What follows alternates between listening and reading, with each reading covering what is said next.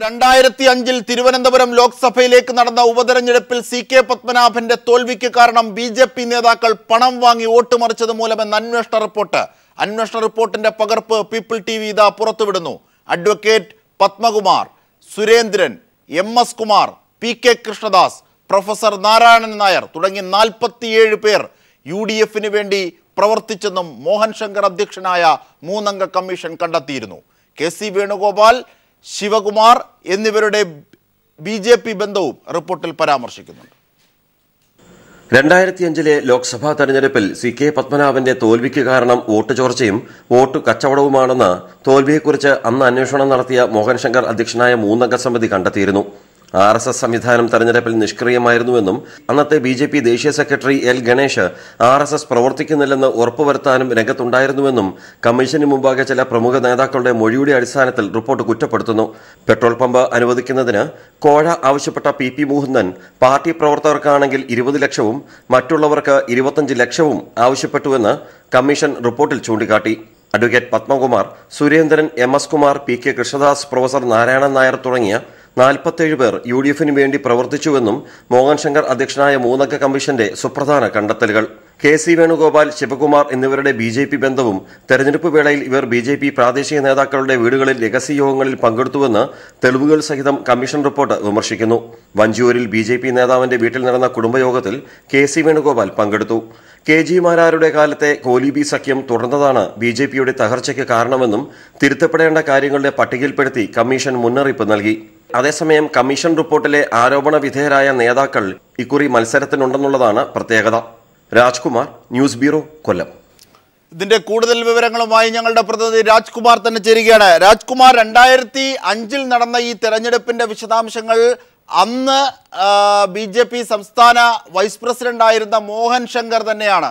പ്രമുഖരായ ആർ ശങ്കറിന്റെ മകൻ കൂടിയാണ് മോഹൻ ശങ്കർ. ആ മോഹൻ ശങ്കറിന്റെ അന്വേഷണ റിപ്പോർട്ടാണ് ഇത്തരത്തിൽ നമുക്ക് ലഭിച്ചതും നമ്മൾ പുറത്തുവിട്ടതും.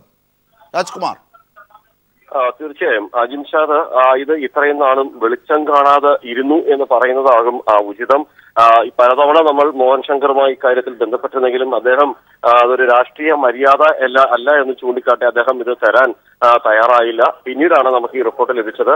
എന്തായാലും ശരി തന്നെ ഇതിൽ ഞാൻ സൂചിപ്പിച്ചതുപോലെ നാൽപ്പത്തേഴ് പേർ സി കെ പത്മനാഭനെ തോൽപ്പിക്കാൻ കട്ടകെട്ടി ഇറങ്ങി എന്നുള്ളതാണ് അടിവരയിട്ട് ഈ അന്വേഷണ റിപ്പോർട്ടിൽ ചൂണ്ടിക്കാട്ടുന്നത്.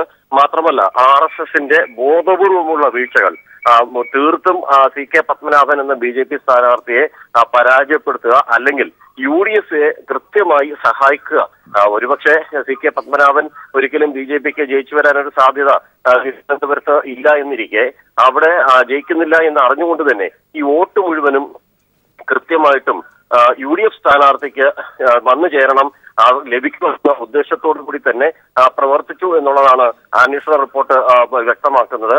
ഇതിൽ ആർ എസ് എസ് നിഷ്ക്രിയമായിരുന്നു എന്ന് എടുത്തു പറയുന്നുണ്ട് അജിംഷാദ് തീർച്ചയായും. അങ്ങനെയെങ്കിൽ പണം വാങ്ങിയ കാര്യങ്ങൾ ഒരു പക്ഷേ നേരത്തെ തന്നെ പ്രത്യേകിച്ചും തിരുവനന്തപുരം ലോക്സഭാ മണ്ഡലത്തെക്കുറിച്ച് അത്തരത്തിലൊരു ആരോപണമുണ്ട്. ബി ജെ പി എപ്പോഴും യു ഡി എഫുമായി ചേർന്ന് വോട്ട് മറിച്ച് യു ഡി എഫിന് സഹായകരമായ ഒരു നിലപാട് സ്വീകരിക്കാറുണ്ട് എന്ന്. ഒരുപക്ഷെ ഇത് ആന്തരികമായി അവരുടെ പഠന റിപ്പോർട്ടുകളിൽ അല്ലെങ്കിൽ അന്വേഷണ റിപ്പോർട്ടിൽ തന്നെ പുറത്തെത്തിയ കാര്യമാണ്. പുറത്തു നിന്നുള്ള ഒരു രാഷ്ട്രീയ ആരോപണമല്ല. അത് തന്നെയാണ് ഇതിന്റെ ഗൗരവം വർദ്ധിപ്പിക്കുന്നതും രാജ്കുമാർ. അങ്ങനെയെങ്കിൽ സി കെ പത്മനാഭൻ എന്ന പ്രമുഖനായ ബി ജെ പി നേതാവിനെ തോൽപ്പിക്കാനായി എന്തൊക്കെ ഇടപെടലുകൾ നടത്തി? യു ഡി എഫ് നേതാക്കന്മാർ ബി ജെ പിയുടെ കുടുംബയോഗങ്ങളിൽ പോലും പോയി സഹകരിച്ചു. അതാ ഏതൊക്കെ കോൺഗ്രസ് നേതാക്കന്മാർ? അത്തരങ്ങൾ ഉള്ള വിശദാംശങ്ങൾ കൂടി. ഇപ്പോൾ നമ്മൾ ഇതിൽ ഏറ്റവും ഉദാഹരണമായി നമുക്ക് പറയാൻ കഴിയുന്നത് വഞ്ചിയൂർ ഉള്ള ബി ജെ പി നേതാവായിട്ടുള്ള സുന്ദരേശൻ തമ്പി. അദ്ദേഹത്തിന്റെ വീട്ടിൽ നടന്ന രഹസ്യ യോഗത്തിൽ കെ സി വേണുഗോപാൽ അതുപോലെ ശിവകുമാർ ഉൾപ്പെടെയുള്ളവർ പങ്കെടുത്തു എന്നാണ് ബി ജെ പി നേതാക്കൾ തന്നെ കമ്മീഷന് മുമ്പാകെ മൊഴി കൊടുത്തിരിക്കുന്നത്. മാത്രമല്ല ഈ ലോക്സഭ തിരുവനന്തപുരം ലോക്സഭാ മണ്ഡലത്തിൽ വിവിധ ഭാഗങ്ങളിൽ പഞ്ചായത്തുകളിലും ബൂത്തുകളിലും വാർഡ് തലങ്ങളിലൊക്കെ തന്നെ ബോധപൂർവം ബി ജെ പിയുടെയും ആർ എസ് എസിന്റെയും പ്രവർത്തകർ പ്രചരണങ്ങളിലും അല്ലെങ്കിൽ അത്തരം തെരഞ്ഞെടുപ്പ് പ്രവർത്തനങ്ങളിൽ നിന്ന് വിട്ടുനിന്നു. ഈ വോട്ട് ചെയ്യാൻ പോലും പോകാത്ത സാഹചര്യമുണ്ടായി. അല്ലെങ്കിൽ വോട്ട് ചെയ്യേണ്ടുന്നത് ഇന്ന ആൾക്കാണെന്ന് വ്യക്തമായി പറഞ്ഞുകൊണ്ട് സി കെ പത്മനാഭന് ചെയ്യരുത് എന്ന് പറയുന്ന തരത്തിലുള്ള കൃത്യമായ മൊഴികൾ കമ്മീഷന് മുമ്പ് കമ്മീഷന് ലഭിച്ചിരുന്നു. അതേസമയം ഈ നമ്മൾ ഈ ചിത്രങ്ങൾ പുറത്തുവിട്ടിട്ടുള്ള അതായത് ആരോപണ വിധേയരായിട്ടുള്ള ഈ പറഞ്ഞ പത്മകുമാർ ആണെങ്കിലും സുരേന്ദ്രൻ ആണെങ്കിലും ഇവരാരും തന്നെ ഈ കമ്മീഷന് മുമ്പിൽ മൊഴി കൊടുക്കാൻ തയ്യാറായില്ല എന്നുള്ളതാണ് ഈ റിപ്പോർട്ടിൽ എടുത്തു പറയുന്നത്. ഇവർ കമ്മീഷനുമായി ചെറിയ തോതിൽ സഹകരിച്ചിരുന്നെങ്കിൽ പോലും പൂർണമായും സഹകരിക്കാൻ തയ്യാറായില്ല. മാത്രമല്ല ബി ജെ പി ഓഫീസിൽ വെച്ച് ഓഫീസിൽ വെച്ച് നാലാം തവണ നടന്ന സിറ്റിംഗ് അലങ്കോലമാക്കാനും അവിടെ സംഘർഷമുണ്ടാക്കാനും ഗുണ്ടകളെ ഏർപ്പാടാക്കി. അവിടെ പ്രാണരക്ഷാർത്ഥം പലരും ഓടി രക്ഷപ്പെടുകയായിരുന്നു. ആ സംഭവങ്ങൾ നമുക്ക് തന്നെ ഓർമ്മയുള്ളതാണ്. തിരുവനന്തപുരത്ത് ബി ജെ പി ഓഫീസിൽ നടന്ന ആക്രമണങ്ങളും പ്രശ്നങ്ങളും അതെല്ലാം ഇതുമായി ബന്ധപ്പെട്ട ഈ അന്വേഷണ കമ്മീഷനെ ഇതിന്റെ നില ഇതിനെ ഇതിന്റെ പ്രവർത്തനത്തെ തടസ്സപ്പെടുത്തുക അല്ലെങ്കിൽ അത്തരം വിവരങ്ങൾ പുറത്തു വരാതിരിക്കുക എന്നുള്ളതായിരുന്നു ഉദ്ദേശമെന്നും ഇതിൽ ഈ റിപ്പോർട്ടിൽ തന്നെ ചൂണ്ടിക്കാട്ടുന്നുണ്ട്. ഒപ്പം സുപ്രധാനമായ മറ്റൊരു വിവരം ആയിരത്തി തൊള്ളായിരത്തി തൊണ്ണൂറ്റി ഒന്നിൽ കെ ജി മാരാർ മത്സരിച്ചപ്പോഴാണ് പോലിബി സഖ്യം എന്ന ഒരു പുതിയ ഒരു സംവിധാനം കേരളത്തിൽ നടന്ന ഒരു- മോഡൽ എന്ന നിലയിൽ നടപ്പിലാക്കിയത്. അത് തുടർന്ന് ഈ റിപ്പോർട്ട് വരുന്ന സമയങ്ങളിലും ഈ ലീഗ് ലീഗുമായി പോയി അത്രയും ബന്ധമില്ലെങ്കിൽ പോലും കോൺഗ്രസ് കോൺഗ്രസിന് വേണ്ടി വിടുപണി ചെയ്യുന്ന ആൾക്കാരായി തൊഴിലാളികളായി ആർ എസ് എസും ബി ജെ പിയും മാറിയതിന്റെ അനന്തര ഫലം ഇനിയും ഇതുപോലുള്ള തോൽവികൾ കലാശിക്കുമെന്ന് പറഞ്ഞുകൊണ്ടാണ് ഈ അന്വേഷണ റിപ്പോർട്ട് അവസാനിപ്പിക്കുന്നത്. തീർച്ചയായും അങ്ങനെയെങ്കിൽ പണം വാങ്ങിയ ഘട്ടത്തിലേക്ക് കടക്കാം. പണം വാങ്ങിയെന്ന് പറയുമ്പോൾ അതായത് വി എസ് ശിവകുമാറിൽ നിന്നും കെ സി വേണുഗോപാലിൽ നിന്നും ഒക്കെ പണം നേരിട്ട് ബി ജെ പി നേതാക്കന്മാർ പറ്റി. അതിൽ പ്രമുഖരായ നേതാക്കന്മാരുണ്ട്. അത് സി കെ പത്മനാഭനെ പോലെ തലമുതിർന്ന ഒരു നേതാവിനെ തോൽപ്പിക്കാൻ എന്നുള്ളതാണ് എന്നുള്ളിടത്താണ് ഗൗരവം. ഒപ്പം രാജ്കുമാർ ഈ ഇതുമായിട്ടൊക്കെ നേരിട്ട് സഹകരിച്ച യു ഡി എഫിലെ കോൺഗ്രസിലെ നേതാക്കന്മാർ ആരൊക്കെ? ആരൊക്കെ? അവർക്ക് ആർ എസ് എസുമായുള്ള ബന്ധം ഇതൊക്കെ സംബന്ധിച്ച് മോഹൻ ശങ്കർ റിപ്പോർട്ടിൽ എന്തൊക്കെയാണ് പറയുന്നത്? അക്കാലത്തെ കേന്ദ്ര ബി ജെ പി നേതാക്കന്മാരുമായി അടുത്ത ബന്ധം പുലർത്തിയിരുന്നത് പി പി മുകുന്ദനാണ്. പി പി മുകുന്ദന്റെ നേതൃത്വത്തിലുള്ള ഈ ബി ജെ പി നേതാക്കന്മാർ ഉൾപ്പെടുന്ന സംഘമാണ് സി കെ പത്മനാഭനെ തോൽപ്പിക്കാൻ കച്ചക്കെട്ടി ഇറങ്ങിയത്. രണ്ട് രീതിയിലാണ് അവർ ഇതിന് തയ്യാറായത്. ഒന്ന് ശ്രീധരൻ പിള്ള. അദ്ദേഹം ബി ജെ പി എന്ന അധ്യക്ഷനായിരുന്നു സംസ്ഥാന അധ്യക്ഷനായിരുന്നു പി എസ് ശ്രീധരൻ പിള്ള. അദ്ദേഹത്തിന്റെ നേതൃത്വം തികഞ്ഞ പരാജയമാണെന്ന് വരുത്തി തീർക്കുക. രണ്ട് അവരുടെ പ്രതിയോഗിയായിട്ടുള്ള സി കെ പത്മനാഭൻ ഒരു കാരണവശാലും കൂടുതൽ വോട്ട് നേടരുത് എന്നുള്ള ഉദ്ദേശത്തെ അതിനകത്ത് അതിൽ തന്നെ പറയുന്നുണ്ട് മുപ്പത്തി ആറായിരം വോട്ടുകൾ മാത്രമാണ് അദ്ദേഹത്തിന് ലഭിച്ചത്. മുമ്പ് നടന്ന തെരഞ്ഞെടുപ്പുകളുടെ വ്യത്യാസങ്ങൾ കൂടി റിപ്പോർട്ടിൽ ചൂണ്ടിക്കാട്ടുന്നുണ്ട്. വലിയ തോതിലുള്ള ഒരു വോട്ട് ചോർച്ച ബി ജെ പിയുടെ പരമ്പരാഗത വോട്ട് ബാങ്കിൽ നിന്ന് വരെ വൻതോതിൽ വോട്ട് ചോർന്ന് യു ഡി എഫ് സ്ഥാനാർത്ഥിക്ക് പോയി ചേർന്നു. ആ തെരഞ്ഞെടുപ്പിൽ പന്നിയൻ രവീന്ദ്രൻ ജയിച്ചു. പക്ഷേ ആ വോട്ടുകൾ മുഴുവനും ഈ യു ഡി എഫിനാക്കാണ് പോയി എന്നുള്ളതാണ് ഈ റിപ്പോർട്ടിൽ പറയുന്നത്. ചില സ്ഥലങ്ങളിൽ എൽ ഡി എഫിനും ബി ജെ പിയുടെ വോട്ട് ലഭിച്ചിട്ടുണ്ട് എന്നും ഇതിൽ അടിവരയിട്ട് ഈ റിപ്പോർട്ട് ചൂണ്ടിക്കാട്ടുന്നുണ്ട്. എന്തായാലും ഞാൻ നേരത്തെ സൂചിപ്പിച്ചതുപോലെ B S Sivakumar K C Venugopal ഈ രണ്ട് നേതാക്കന്മാർക്ക് R S S B J പിയുമായുള്ള ബന്ധമാണ് ഈ റിപ്പോർട്ടിൽ പറയുന്ന സുപ്രധാനമായ കാര്യം. നിലവിൽ തന്നെ ഇതിൽ ഇടതുപക്ഷ നേതാക്കൾ അല്ലെങ്കിൽ അതുപോലെ തന്നെ മറ്റു നേതാക്കളൊക്കെ തന്നെ അവർ ഉന്നയിക്കുന്ന ഒരു ആക്ഷേപം. കഴിഞ്ഞ ദിവസങ്ങളിലും കോടിയേരിയും പിണറായി വിജയനും വി എസും ഉൾപ്പെടെ പറഞ്ഞിരുന്നു. ഇവിടെ സംസ്ഥാനത്ത് കോൺഗ്രസ് ബി ജെ പി ധാരണയുണ്ട്. മുഖ്യമന്ത്രിയാണ് അതിന് ചുക്കാൻ പിടിക്കുന്നത് എന്നുള്ള ആരോപണം അവർ ഉന്നയിച്ചിരുന്നു.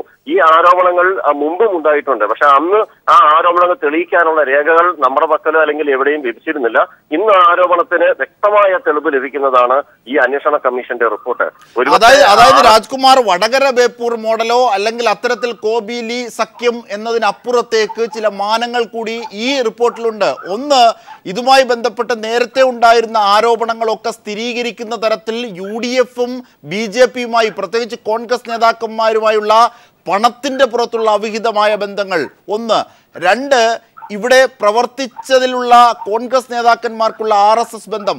മൂന്ന് ഇതൊക്കെ അന്വേഷിക്കാൻ അന്ന് നിയോഗിക്കപ്പെട്ടത് ആർ ശങ്കറിന്റെ പോലെ പ്രമുഖനായ ഒരാളുടെ മകനായ മോഹൻ ശങ്കറാണ്.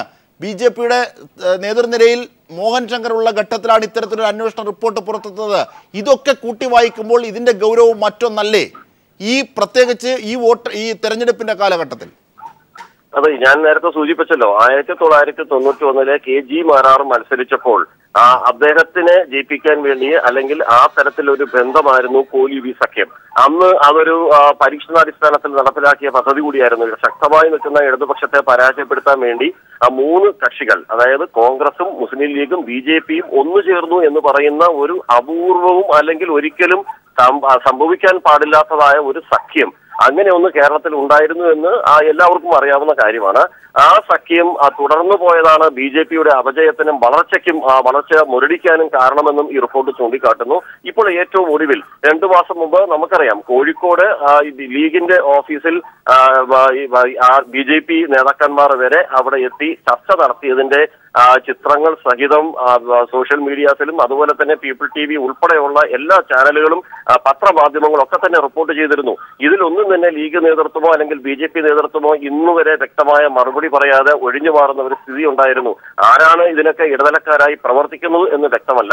എന്തായാലും കേരളത്തിൽ ബി ജെ പിക്ക് അക്കൗണ്ട് തുറക്കുന്നതിന് ചില മണ്ഡലങ്ങളിൽ ബി ജെ പിയെ സഹായിക്കാം. ഒന്നോ രണ്ടോ മണ്ഡലങ്ങൾ ബി ജെ പിയെ സഹായിക്കാം. അതേസമയം കോൺഗ്രസ് ദുർബലമായ മണ്ഡലങ്ങൾ അല്ലെങ്കിൽ ലീഗ് ദുർബലമായ മണ്ഡലങ്ങൾ പകരം ബി ജെ പിയുടെ വോട്ട് നൽകണമെന്ന് ഒരു വ്യവസ്ഥ ഉണ്ടാക്കി എന്ന് ഇടതുപക്ഷ നേതാക്കളും അതുപോലെ തന്നെ പലരും പലതരത്തിലുള്ള ആരോപണങ്ങൾ ഇപ്പോൾ പുറത്തു വന്നുകൊണ്ടിരിക്കുകയാണ്.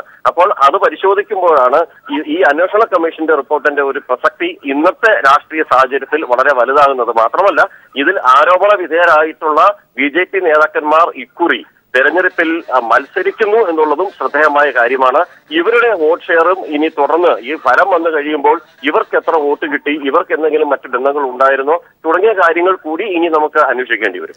തീർച്ചയായും രാജ്കുമാർ രാജ്കുമാറാണ് വിവരങ്ങൾ നൽകിയത്. രണ്ടായിരത്തി അഞ്ചിൽ തിരുവനന്തപുരം ലോക്സഭയിലേക്ക് നടന്ന ഉപതെരഞ്ഞെടുപ്പിൽ സി കെ പത്മനാഭന്റെ തോൽവിക്ക് കാരണം ബി ജെ പി നേതാക്കൾ പണം വാങ്ങി വോട്ട് മറിച്ചത് മൂലമെന്ന് അന്വേഷണ റിപ്പോർട്ട് അന്വേഷണ റിപ്പോർട്ടിന്റെ പകർപ്പാണ് People T V പുറത്തുവിടുന്നത്. Advocate Padmakumar Surendran M S Kumar P K Krishnadas professor Narayanan Nair തുടങ്ങി നാൽപ്പത്തിയേഴ് പേർ യു ഡി എഫിന് വേണ്ടി പ്രവർത്തിച്ചെന്നും മോഹൻ ശങ്കർ അധ്യക്ഷനായ മൂന്നംഗ കമ്മീഷനാണ് കണ്ടെത്തിയത്.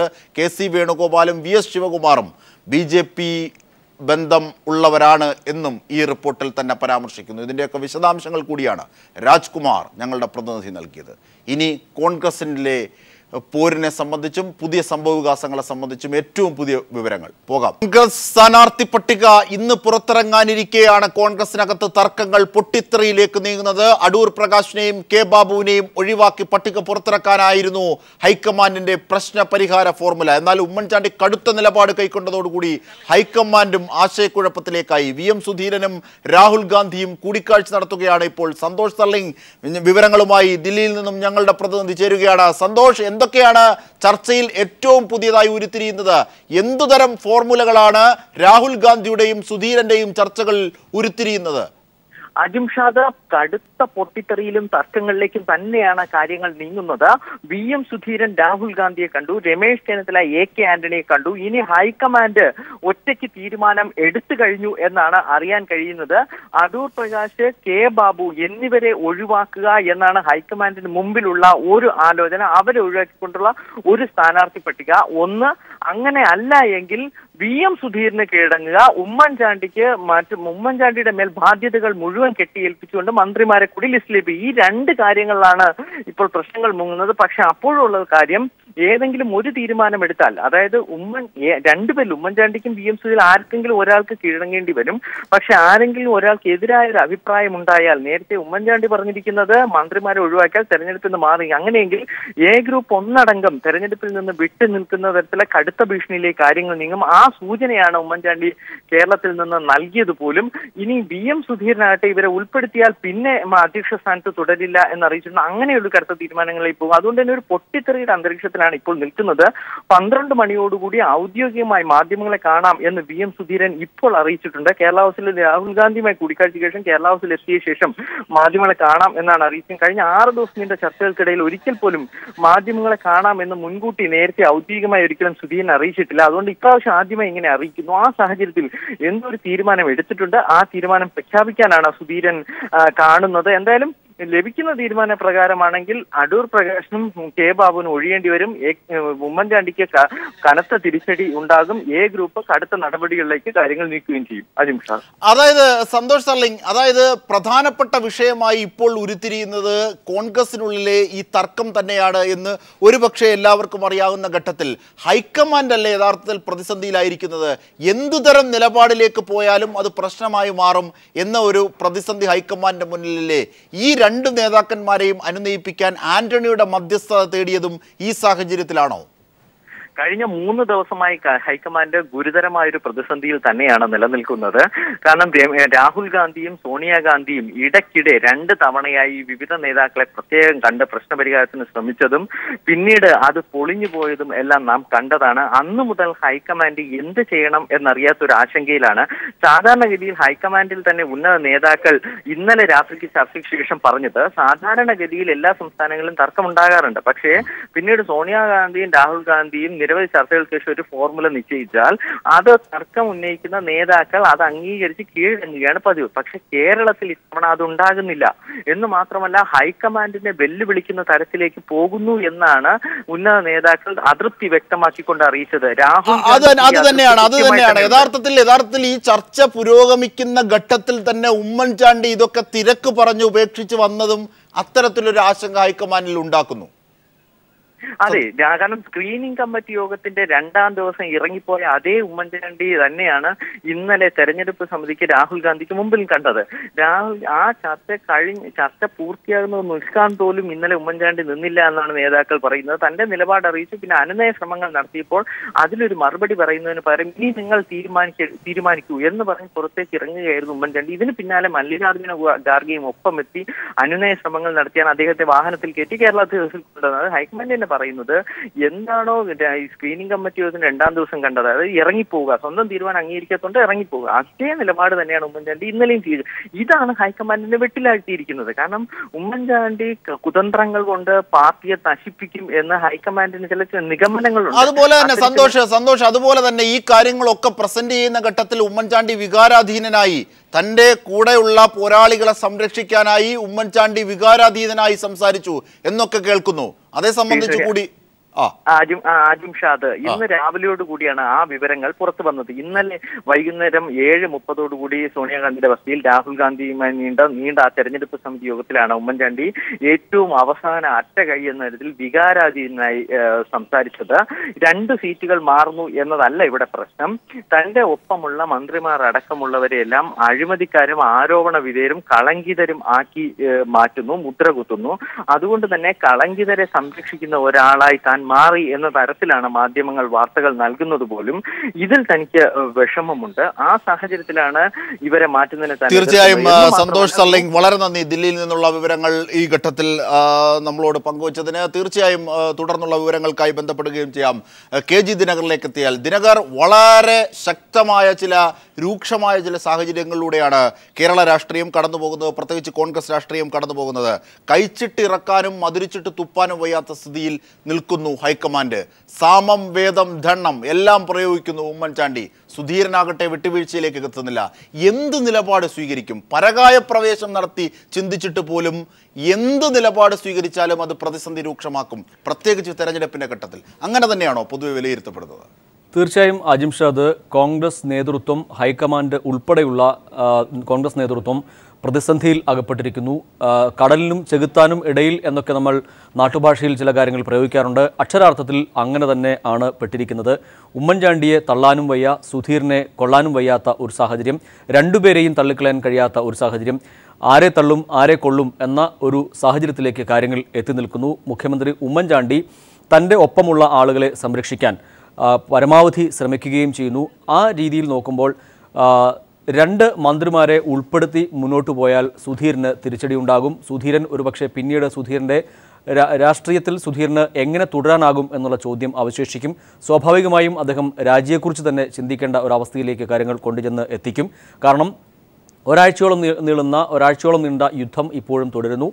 അവസാനം മുഖ്യമന്ത്രി ഉമ്മൻചാണ്ടി പറഞ്ഞിടത്തേക്ക് കാര്യങ്ങൾ കൊണ്ടുചെന്നെത്തിച്ചാൽ അത് സുധീരന്റെ ആദർശ പരിവേഷത്തിന് ഏൽക്കുന്ന കനത്ത പ്രഹരമാകും. അതുമായി അദ്ദേഹത്തിന് അല്ലെങ്കിൽ ആ ഒരു പ്രഹരം ഏറ്റുകൊണ്ട് അദ്ദേഹത്തിന് മുന്നോട്ട് പോകാൻ കഴിയാത്ത സാഹചര്യം ഉരുത്തിരിയും. നേരെ മറിച്ച് മുഖ്യമന്ത്രി ഉമ്മൻചാണ്ടി ഈ രണ്ടുപേരെ ഉൾപ്പെടുത്തിക്കൊണ്ട് അടൂർ പ്രകാശിനെയും കെ ബാബുവിനെയും ഉൾപ്പെടുത്തിക്കൊണ്ട് ബെന്നി ബെഹനാനെയും കെ സി ജോസഫിനെയും ഒക്കെ ഉൾപ്പെടുത്തിക്കൊണ്ട് മുന്നോട്ട് പോവുകയാണെങ്കിൽ അത് സ്വാഭാവികമായും കേരളത്തിൽ വലിയ തിരിച്ചടി കോൺഗ്രസ് ഉണ്ടാക്കുമെന്നുള്ള കാര്യത്തിൽ സംശയമില്ല. കാരണം അടൂർ പ്രകാശ് ഉൾപ്പെടെ കെ ബാബു ഉൾപ്പെടെയുള്ളവർ അഴിമതിയുടെ നിഴലിൽ നിൽക്കുന്നു. അടൂർ പ്രകാശിനെതിരെ അതിരൂക്ഷമായ വിമർശനങ്ങളും ഭൂമി വിവാദങ്ങൾ ഉൾപ്പെടെ വന്നു നിൽക്കുന്ന ഒരു പശ്ചാത്തലം മുഖ്യമന്ത്രി ഉമ്മൻചാണ്ടി അഴിമതിക്കാരെ സംരക്ഷിക്കുന്നു എന്ന പ്രതീതി ജനിപ്പിക്കുകയും ചെയ്യും. അത് കോൺഗ്രസിനെ സംബന്ധിച്ചിടത്തോളം വലിയ തിരിച്ചടി ഉണ്ടാക്കുക തന്നെ ചെയ്യും. കാരണം മുഖ്യമന്ത്രി ഉമ്മൻചാണ്ടി ഉൾപ്പെടെയുള്ളവർക്കെതിരെ ആരോപണങ്ങൾ ഉയർന്നു നിൽക്കുന്ന പശ്ചാത്തലത്തിൽ ഇവരെ മാത്രം ഒഴിവാക്കിയാൽ അത് അദ്ദേഹത്തിന് മുന്നോട്ട് പോകുന്നതിന് വലിയ തടസ്സം സൃഷ്ടിക്കപ്പെടും. അതല്ല ഒരുപക്ഷെ അടൂർ പ്രകാശ് അത് അദ്ദേഹത്തിന്റെ കയ്യിലുള്ള മുഖ്യമന്ത്രിക്കെതിരായിട്ടുള്ള പല കാര്യങ്ങളും ഒരുപക്ഷെ പുറത്തുവിടും എന്ന രീതിയിൽ ചില പറയാതെ പറഞ്ഞ് വയ്ക്കുകയും ചെയ്തിരുന്നു കഴിഞ്ഞ ദിവസം അദ്ദേഹം മാധ്യമങ്ങൾക്ക് മുമ്പിൽ. അതൊക്കെ കൊണ്ടുകൂടി തന്നെയാണ് ഇത്തരത്തിൽ മന്ത്രിമാരെ ഒഴിവാക്കിക്കൊണ്ട് മുന്നോട്ട് പോകാൻ കഴിയുകയില്ല. അത് തനിക്കെതിരെയുള്ള ആക്ഷേപമായി മാറുന്നു ആരോപണമായി മാറുന്നു എന്ന രീതിയിൽ അദ്ദേഹം അതിനെ പ്രചരിപ്പിക്കുകയും ചെയ്യുന്നു. എ കെ ആന്റണിയും അതോടൊപ്പം തന്നെ ഹൈക്കമാൻഡ് സോണിയാഗാന്ധി ഉൾപ്പെടെയുള്ളവർ ഇടപെട്ടിട്ടും ഈ പ്രതിസന്ധി പരിഹരിക്കാതെ മുന്നോട്ട് പോകുന്നു എന്നുള്ളതാണ് വസ്തുത. ഇത് സ്വാഭാവികമായും തെരഞ്ഞെടുപ്പിനെ സംബന്ധിച്ചിടത്തോളം കോൺഗ്രസ് പ്രവർത്തകർക്കിടയിൽ വലിയ പ്രതിഷേധം ഉയർത്തുന്നുണ്ട് കാരണം അടൂർ പ്രകാശിനെയും കെ ബാബുവിനെയും എന്തുകൊണ്ട് മുഖ്യമന്ത്രി സംരക്ഷിക്കുന്നു? അവർക്കെതിരെ അഴിമതി ആരോപണങ്ങൾ ഉയർന്നിരിക്കുന്നു. കോടതിയിൽ ഇവരുടെ കേസുകൾ പലതും നിലനിൽക്കുന്ന ഒരു സാഹചര്യം നിൽക്കുന്നു. തെരഞ്ഞെടുപ്പ് തൊട്ട് അടുത്ത് നിൽക്കുന്ന ഒരു പശ്ചാത്തലം. ഈ പശ്ചാത്തലത്തിലൊക്കെയും അത് കോൺഗ്രസിനെ സംബന്ധിച്ചിടത്തോളം വലിയ തിരിച്ചടി ഉണ്ടാക്കും എന്നുള്ള തിരിച്ചറിവ് തന്നെയാണ് രണ്ടാം നിര നേതാക്കൾക്കിടയിലൊക്കെയും ഉള്ളത്. എങ്ങനെ പരിഹരിക്കും എന്നറിയാതെ കുഴങ്ങുക തന്നെയാണ് ഇപ്പോഴും നേതൃത്വം. അടൂർ പ്രകാശിനെയും കെ ബാബുവിനെയും മാറ്റി നിർത്താതെ മുന്നോട്ട് പോയാൽ സുധീറിന് രാജിവെക്കേണ്ടി വരും. ഉമ്മൻചാണ്ടിക്ക് മുന്നിൽ കീഴടങ്ങേണ്ടി വരും. തീർച്ചയായും ഏറ്റവും പുതിയ വിവരങ്ങൾ കൂടിയെത്തുമ്പോൾ ദിനകർ എ ഗ്രൂപ്പ് നേതാക്കന്മാരൊക്കെ മത്സരത്തിൽ നിന്നും വിട്ടുമാറി നിൽക്കാം എന്ന സന്നദ്ധതയും അറിയിച്ചിരിക്കുന്നു. ഗൗരവമായ രാഷ്ട്രീയത്തിലൂടെ കോൺഗ്രസ് രാഷ്ട്രീയം കടന്നു പോകുന്നു. വരും ബുള്ളറ്റുകളിൽ തീർച്ചയായും ഇതിന്റെ തുടർ ചർച്ചകൾ ഉണ്ടാകും. സ്ഥാനാർത്ഥി നിർണയം കീറാമുട്ടിയായി തുടരുന്നു. പ്രതിസന്ധിയിൽ പ്രതിസന്ധിയിലാകുന്നു ഹൈക്കമാൻഡ് പോലും. തീർച്ചയായും വിവരങ്ങളും വിശദാംശങ്ങളുമാണ് സന്തോഷ് സള്ളിയും കെ ജി ദിനകറും നൽകിയത്.